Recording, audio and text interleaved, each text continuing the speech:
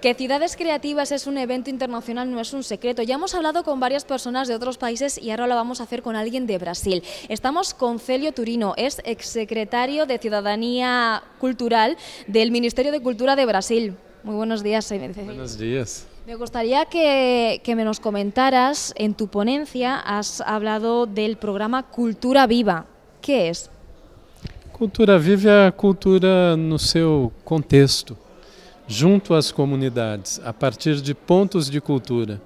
Nós hicimos 3 mil pontos de cultura em Brasil, em aldeias indígenas, áreas de favelas, com jovens, em universidades, ah, cabe tudo. É, desde a cultura erudita, a música erudita, dança contemporânea, a hip hop, manifestações tradicionais de comunidades e integramos esses pontos em uma rede e assim se promove um processo de desenvolvimento com autonomia e protagonismo. A autonomia e o protagonismo são elementos essenciais na construção de uma cultura é, efetivamente viva e de caráter transformador. Por isso, o, o governo é, garante um pressuposto para cada ponto de cultura, equivalente a 30 mil euros, um pouco menos, 28, para, eh, por ano, para que essas comunidades produzam o seu trabalho de forma autônoma e assim se desenvolvam. Has explicado antes el poder transformador que tiene la cultura. ¿Cuál es ese poder? A cultura ela, ela une pontos. Eu diria que hoje o mundo vive uma profunda crise, uma crise de sentidos, uma crise de política que abala todos os lugares. Vai do Egito, passa por cá, vai no Brasil, em, to, em todo o mundo.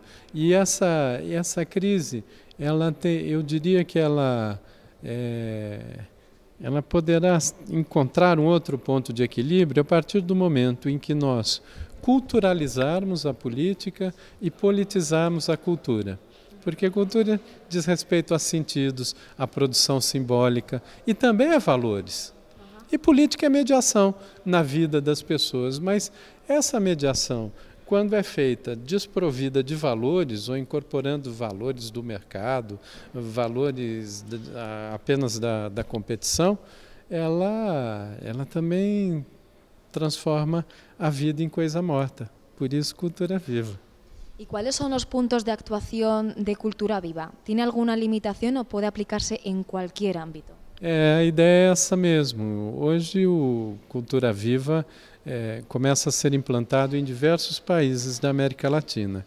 Por exemplo, no Peru, a síntese é, é Cultura Viva Ponto de cultura, a identidade na diversidade. Ou seja, a cultura viva é buscar esses pontos de identidade em, uma, em um mundo diverso, mas é, que ao mesmo tempo em que se realiza na diversidade, também afirma sua própria identidade, sem preconceitos, sem fundamentalismos, sem verdades acabadas, e assim vamos construindo que, quiçá, uma cultura mais uma solidária e comunitária e incorporada ao contexto da vida. Não uma cultura que se transforma em uma mercadoria, que se aprisiona e aí vira uma, uma coisa morta. Essa é a ideia da, da cultura viva. E o ponto de cultura seria como uma, uma micro-rede que acontece no território, em torno das comunidades.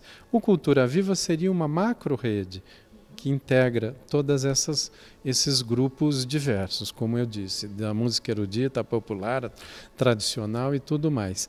E em torno do ponto vamos criando ações de interação, por exemplo, residências artísticas em pontos de cultura com artistas profissionais, é, ações de cultura e saúde, cultura infantil, cultura lúdica, cultura tradicional, cultura digital, em software livre e com Creative Commons. E assim vamos fazendo.